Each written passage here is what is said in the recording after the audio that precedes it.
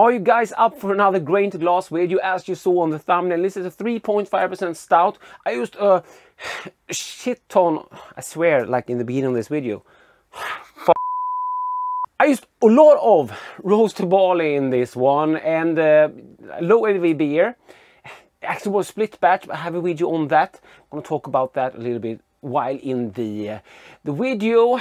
So, grain to glass, if you're new to this, means that we are gonna see the brew footage and we run through the recipe, at least I do in my videos, and we actually come back and try the beer in the end. So let's get started.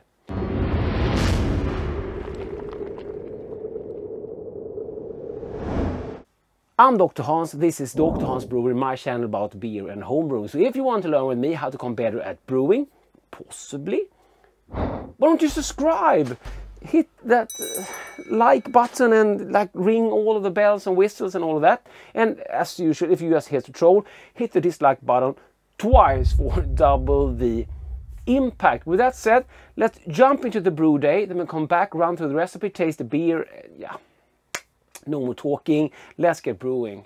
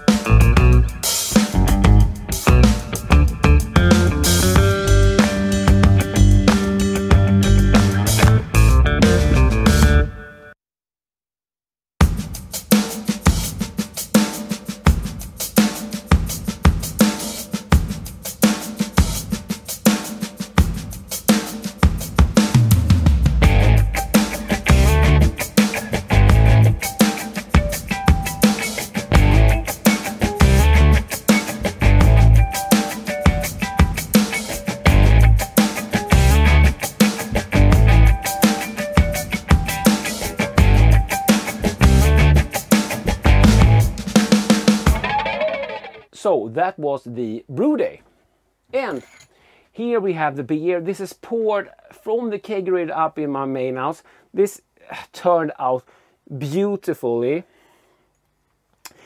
Yeah, it was a split batch. This is the uh, this is actually brewed with lager yeast. I have another video where I did compare the lager one with the uh, US05 one. This is brewed with SAF Lager W3470, so you can go and check that video out after this one.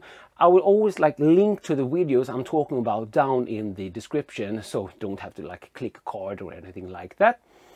You will find everything down in the description.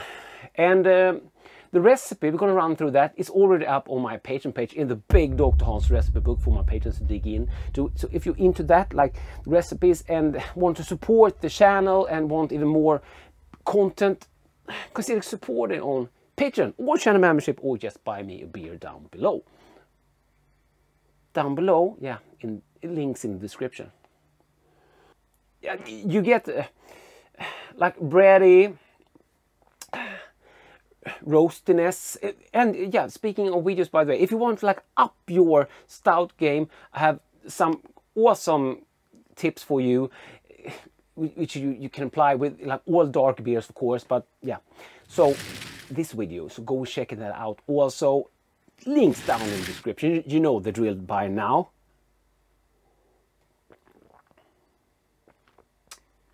This is super smooth tight bubbles.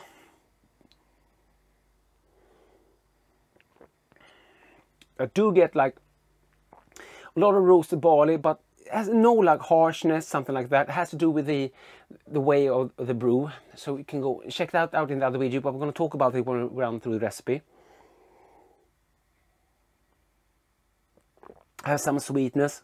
So we did end with like a high FG yeah we will look into that the numbers but it really helps this beer because it's 3.5% beer so of course it's not like a, a big beer but the higher FG really helps out, but it's not it's not sweet at all, well balanced with the hops. And I did add spices to this one, and that was actually one of my patrons. It was Jeff's fault because middle of the brew day, uh, commented on. I think it was like the, the new patron Facebook group where he said he was doing like a Christmas beer and yeah just tilted my brain and I started adding spices. But I wanted to add like spices that complemented the stout and would not take over at all. I was thinking like dark chocolate with spices could I add? So, so yeah all in the recipe soon. Sorry.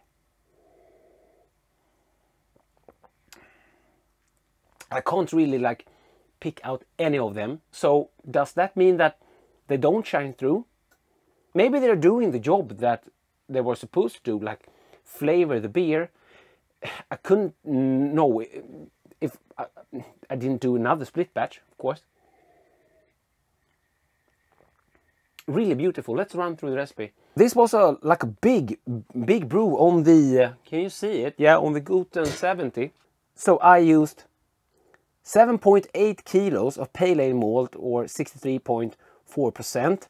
That's Brewmaster Sweden pale ale malt. And I used Munich Light there, Castle Malting, 1.8 kilos or 14.6%, 1.5 kilos of roasted barley, that's 12.2%, it was 600 grams of biscuit malt, 4.9%, might have been like cookie malt, but yeah, it's like substitute for that. And I used 600 grams of Cara Munich Type 3, so the biscuit malt and Cara Munich, it's 4.9% each. I mashed this at an hour at 66C and then I did a mash out and did a mash out for 30 minutes. So the roasted barley didn't go into the mash until the mash out. You don't need to mash the roasted grains and you aren't supposed to do that.